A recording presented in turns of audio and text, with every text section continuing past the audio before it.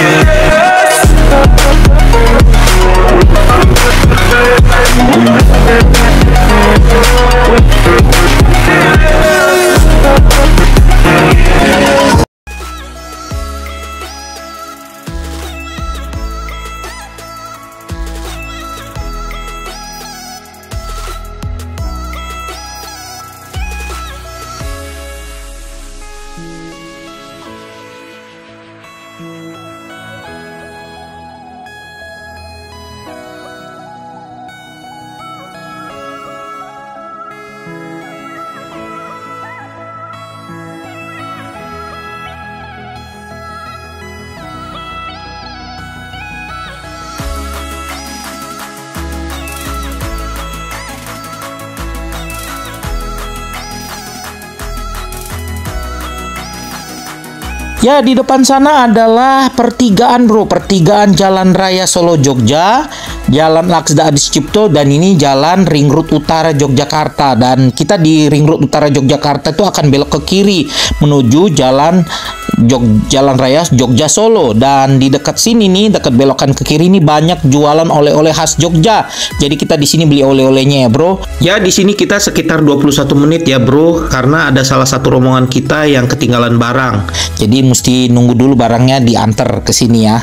Oke bro, setelah kita selesai beli oleh-oleh dan menunggu barang yang ketinggalan, kita menuju pompa bensin ya.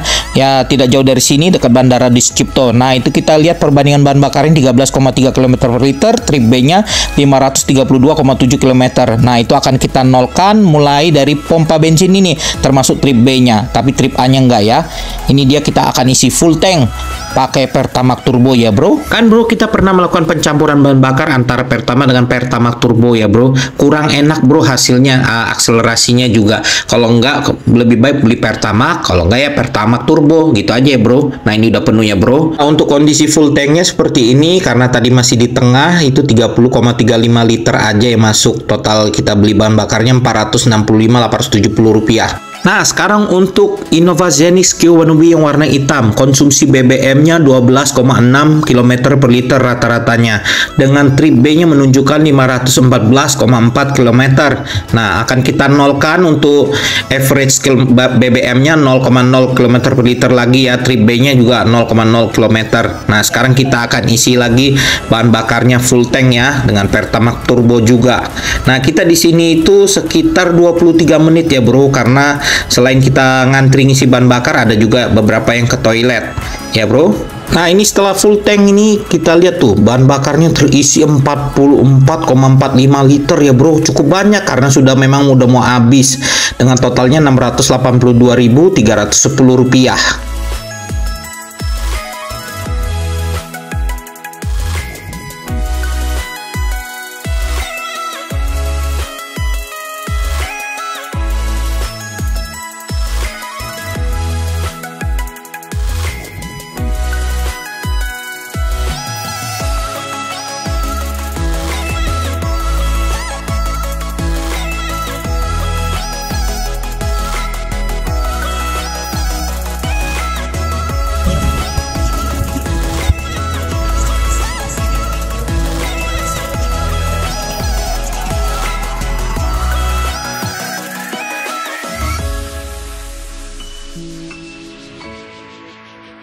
Ya sekarang kita berada di kota Klaten ya bro. Nah itu di depan itu kita harus belok ke kiri Karena kalau lurusnya itu itu satu arah ya bro. Nanti kita nih harus belok ke kiri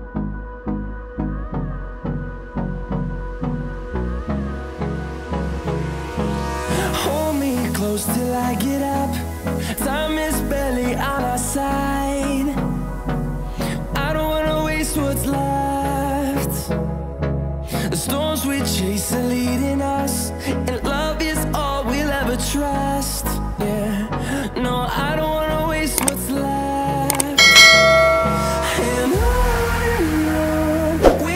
Ya bro, karena rombongan kita ada yang sakit bro, karena mual-mual, memuntah, terus bawaannya paling udah dikasih obat, kita akhirnya memutuskan berhenti di rumah sakit terdekat. Dan rumah sakit terdekat itu adalah rumah sakit umum PKU Muhammadiyah Delanggu.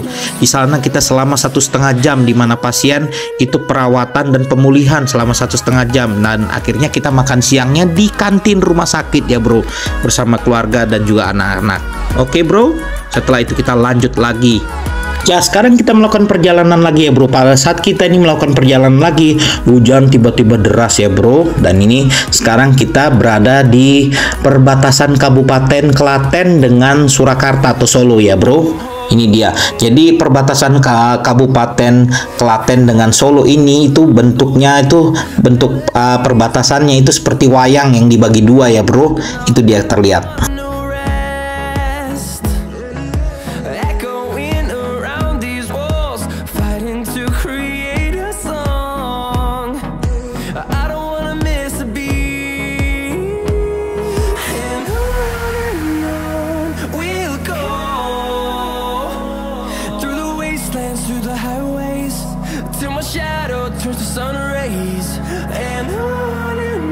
Ya bro, sebentar lagi kita akan masuk gerbang tol Colomadu.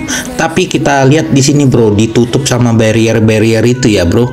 Nah, itu ternyata kita disuruh maju ke depan untuk melewati lingkarnya ya, lingkar jadi kita harus masuk lewat lingkarnya jalan tol Yogyakarta Solo.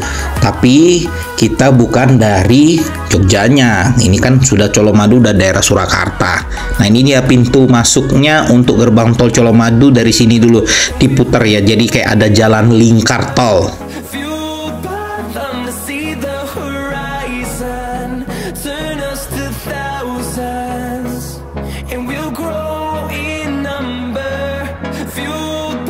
Wow bro keren banget ya bro. Walaupun kita hanya lewat jalan lingkarnya menuju gerbang tol Colomadu kita lihat nih bro. Keren banget nih bro. Kalau jadi sangat membantu sekali ya bro. Walaupun ini beton-betonnya seperti ini belum jadi 100% seperti ini jalannya masih dari beton kasar ya. Belum jadi 100% ini kita lihat dong. Keren banget ya bro. Ini kalau sudah jadi ini akan mempercepat perjalanan dari Jakarta Yogyakarta tanpa harus melewati jalan raya Solo Jogja Semoga di pertengahan tahun 2024 ini jalan tol Yogyakarta Solo sudah jadi ya bro.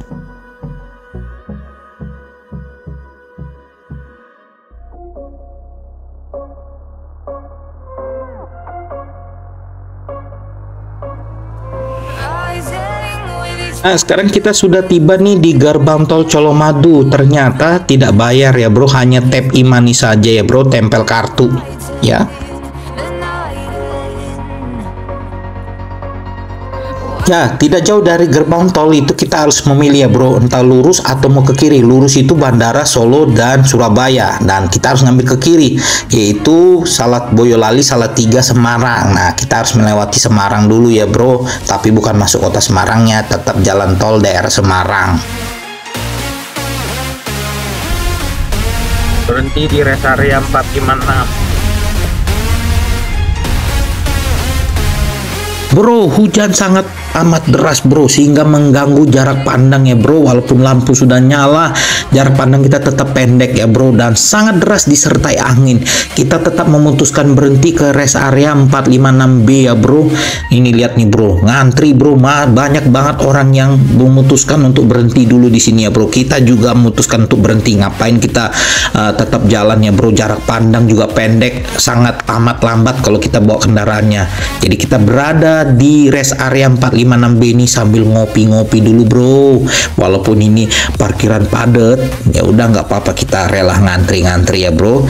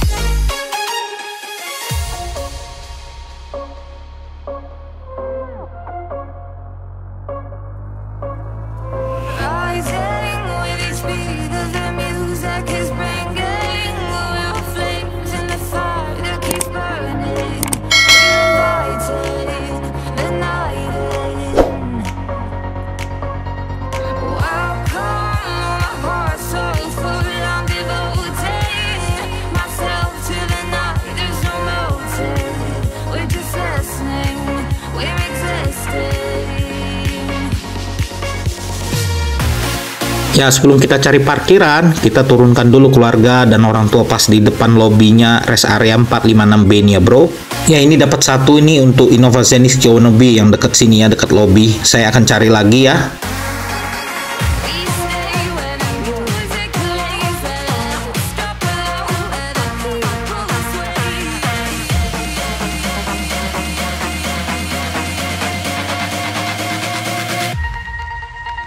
Ya, akhirnya saya dapat juga bro parkiran. Gak apa-apa bro, walaupun hujan deras kita punya payung. Ya bro, kita berada di rest area 456B ini sekitar satu setengah jam ya bro. Itu termasuk kita menunggu sambil ngopi-ngopi dan juga cari parkiran. Itu totalnya satu setengah jam.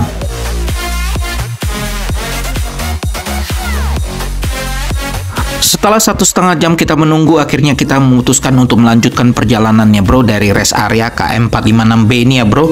Walaupun hujan masih rintik-rintik, ya tepat di jam 5.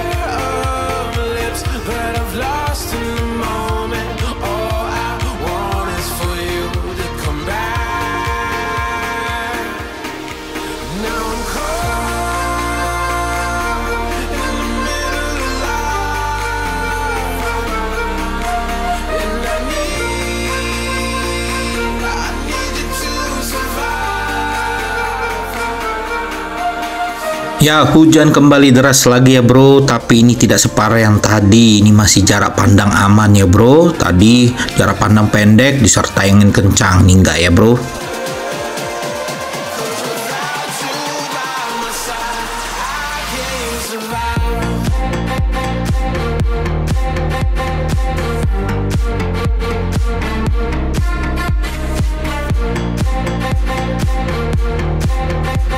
Ya, di depan saya itu ada gerbang tol Banyumanik ya, Bro.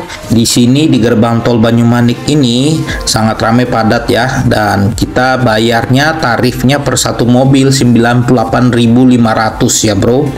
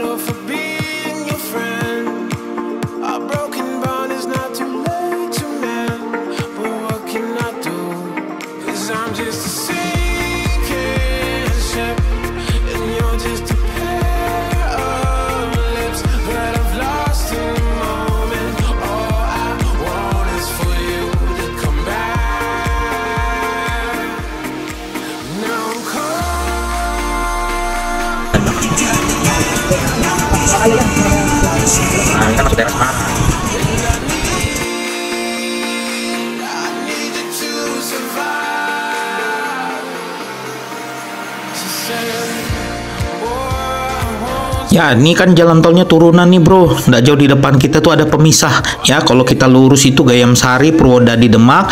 Ke kiri itu Jatingalek, Rapi, Jakarta. Kita ke kiri ya bro, karena kita kan mau ke Jakarta.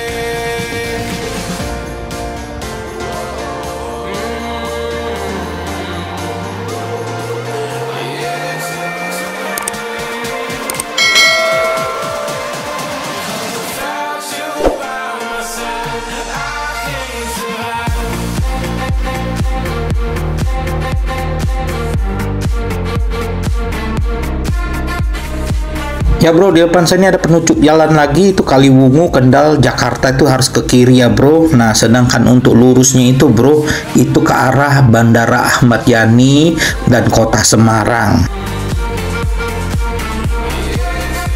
Ya bro, ini kita harus ambil kiri ya bro. Batang Pemalang, Jakarta bro. Kita harus ambil kiri. Karena ini tadi ya, lurus itu kota Semarang, Kerapiak, Bandara Ahmad Yani.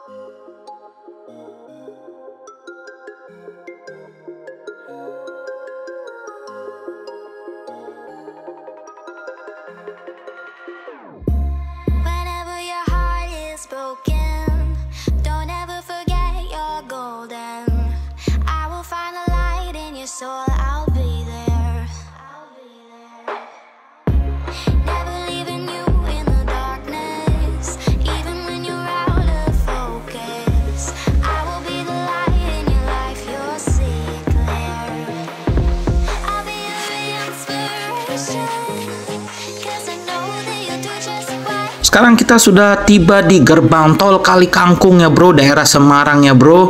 Ternyata bro di sini tidak melakukan pembayaran, hanya tempel kartu aja bro, alias tap imaninya aja.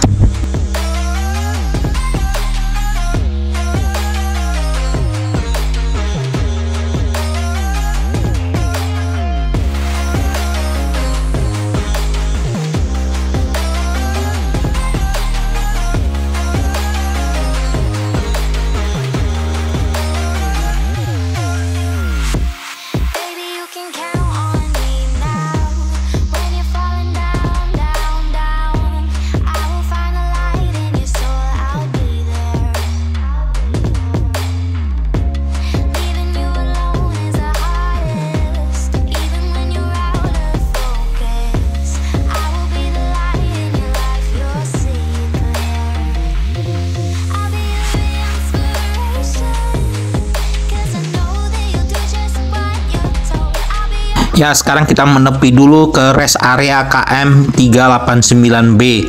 Di sini kita, Bro, mau buang air kecil ya, Bro. Dingin banget, Bro, soalnya di dalam kabin mobil. Jadi ini semuanya mau ke toilet ya, Bro. Dan kebetulan toiletnya juga rame ya, Bro. Dan inilah keadaan sekitar rest area KM 389B.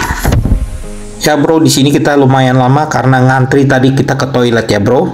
Sekarang kita lanjut lagi melakukan perjalanan kita.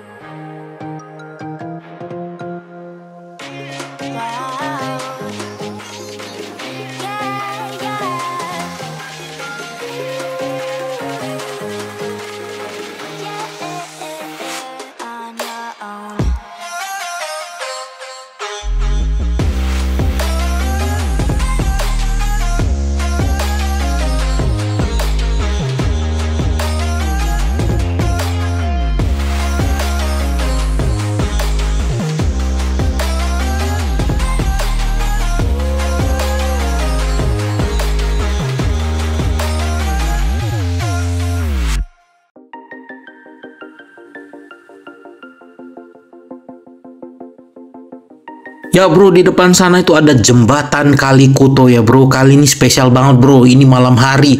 Jadi kelihatan kan bro lampu-lampunya yang menghiasi jembatan Kali Kuto. Jadi kalau kita lewat sini pastilah bro kita shoot. Dan ini jadi trademarknya tol Trans Jawa ya bro. Keren banget.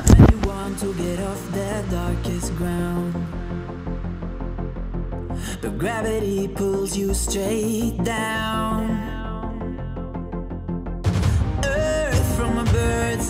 View. You should grow feathers and see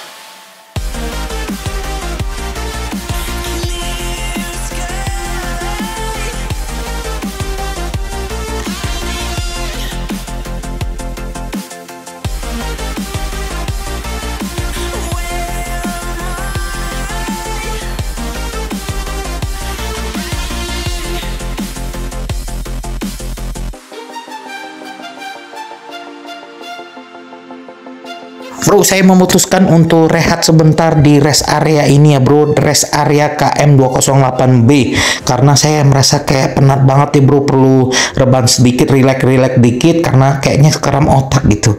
Jadi saya perlu rehat sedikit sambil minum kopi dan ngemil ya makan roti lah sedikit. Nah nanti habis itu kita lanjut lagi perjalanan. Nah kebetulan di tempat ini di pompa bensinnya tidak ada Pertamax Turbo. Jadi uh, rombongan kita yang pakai Avanza kan pinginnya pakai Pertamax Turbo. Jadi kita cari lagi nih bro nanti rest area satu lagi di mana bro? Pantau terus ya bro. Ya bro itu ada tulisan Palimanan Kanci dan sekarang kita di daerah tersebut ya bro. Ini tolnya kita masih agak panjang ya bro menuju Jakarta. Tapi cuacanya sudah oke ya bro. Sudah nggak hujan lagi ya bro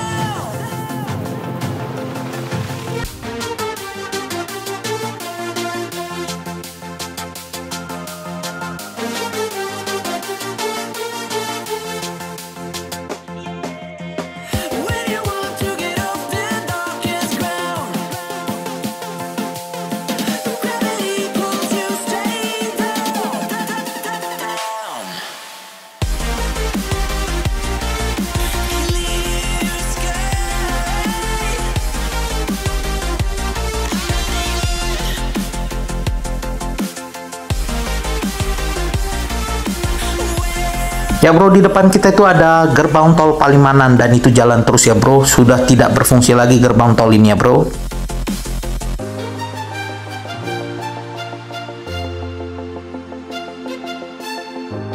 Ya, di sini kita menemukan kembali rest area KM164 yang menyediakan Pertamax Turbo ya, Bro. Jadi di sini untuk Innova Zenix Q wannabe yang warna hitam dan Innova Zenix Q Silver tidak mengisi bahan bakar. Catat ya, Bro. Hanya mobil Avanza saja ya, Bro, salah satu dari rombongan kita.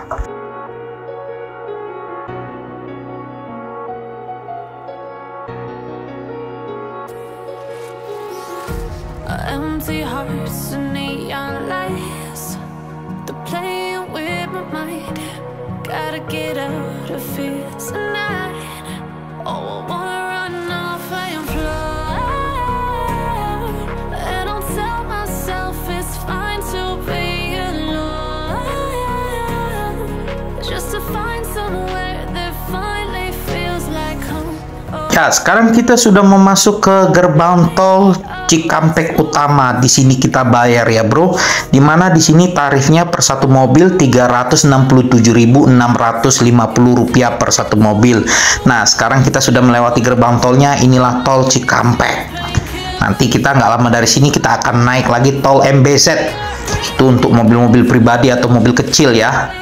Ruas tol di tol Cikampek ini bro sudah ditambah ya bro. Tapi entah kenapa walaupun sudah ditambah rasanya kayak rame gitu ya bro. Karena banyaknya truk-truk yang lambat dan juga ada bis-bis malam. Dan karena kebetulan ini sudah malam ya Jadi banyak bis malam. Dan juga truk-truk itu banyaknya malam keluar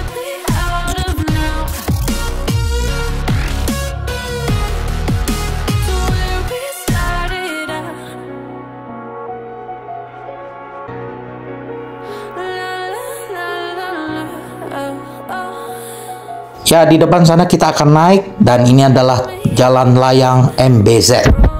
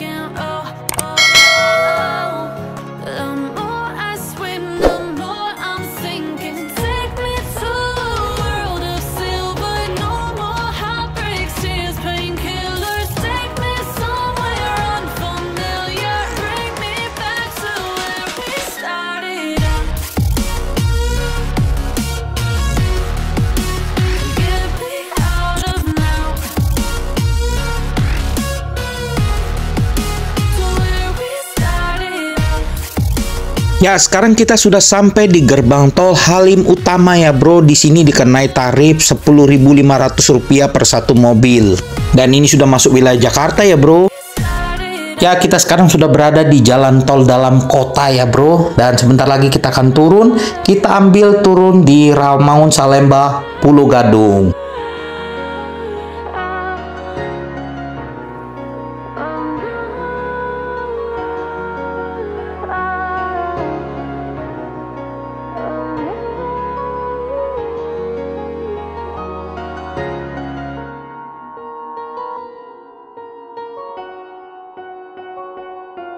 Akhirnya bro kita sudah tiba juga di rumah ya bro dan ini bro tepat di jam 00.24 menit ya bro hampir jam setengah satu pagi Ya, kita akan tiba kepada kesimpulannya, bro. Ya, bro, konsumsi bahan bakarnya, bro, itu 15,8 km per liter dari Yogyakarta, tepatnya pompa bensin, sampai di Jakarta di rumah ini. Nah, untuk tripnya, untuk tripnya itu dari Yogyakarta ke Jakarta 568,5 km dan kita menempuh perjalanan selama 14 jam 13 menit ya bro. Itu dikarenakan kita ada melakukan persinggahan sebanyak 6 kali di mana salah satunya di Rumah Sakit PKU Muhammadiyah Delanggu ya bro. Jadi itu total pemberhentiannya sebanyak 6 kali itu itu 4 jam 48 menit ya bro. Cukup lama kan bro? Dan ini dia bro untuk Innovazianis Kiwanobi yang warna hitam. Itu perbandingan bahan bakarnya 13,5 km per liter ya bro Berarti untuk keiritan tetap menang Innovazianis Q yang silver. Ya, kembali lagi kepada pengendaranya ya bro.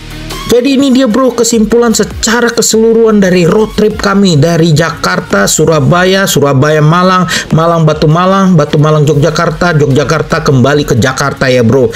Dengan total jarak tempuh 2035,8 km yang jadi kita acuan di sini satu mobil aja ya bro Innova Zenix Q yang silver. Untuk total BBM yang masuk ke dalam tangki Innova Zenix Q silver itu dari Jakarta kita ngisi dari pompa bensin Shell sampai kembali lagi ke Jakarta yang terakhir di pompa bensin uh, Jogja yang dekat Bandara di Cipto itu totalnya 140 liter ya bro. Dan masih sisa setengah tangki lebih untuk sisa bahan bakarnya ya bro. Jadi mobil ini mobil hybrid Scenic hybrid ini sangat irit sekali ya bro. Kira-kira itu kalau kita total-total perbandingan bahan bakarnya 14,5 km per liter. Jadi seperti kita bawa mobil 1300 cc jadi sangat irit ya bro. Untuk mode berkendaranya adalah normal. Kalau kita nginjak pedal gas juga kita tidak diurut-urut sangat pelan supaya irit banget ya bro. Jadi 14,5 km per liter ini dengan cara mod cara ngegasnya normal ya bro. Jadi itu termasuk irit. Dan untuk total biaya tolnya bro untuk road trip yang seperti ini itu membutuhkan biaya 1.768.150 rupiah. Ya minimal anda harus ngisi imani anda 1,8 juta ya bro untuk melakukan road trip seperti ini. Ya itu saja bro kesimpulan kami dari Selato Channel melakukan road trip Bye.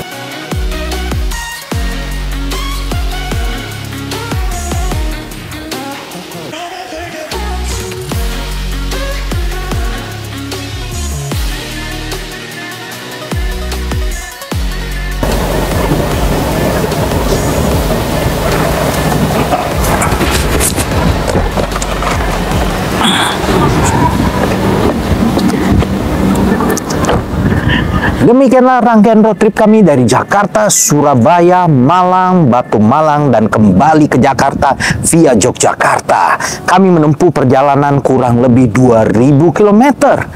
Dan Anda mau tahu siapa di balik kemudi Innova Zenix yang warna hitam Q1 itu? Anda mau lihat langsung? Yuk kita ke Innova Zenix Q1 tersebut. Yuk kita yuk. Ya. Dan inilah dia sosok di balik kemudi Innova Zenix Q1 Wow, seorang wanita ya. Nah, dia adalah istri saya dan kami mengemudikan dua mobil Innova Zenix ini dari Jakarta, Surabaya, Malang, Batu Malang, kembali ke Jakarta via Yogyakarta. Itu kami tempuh kurang lebih 2000 km. Keren gak itu, Bro? Jika Anda menyukai video ini, berikan like dan berikan komentar Anda. Dan jangan lupa juga untuk subscribe ya bro, dan nyalakan lonceng notifikasinya. See you bro in the next video. Mantap bro!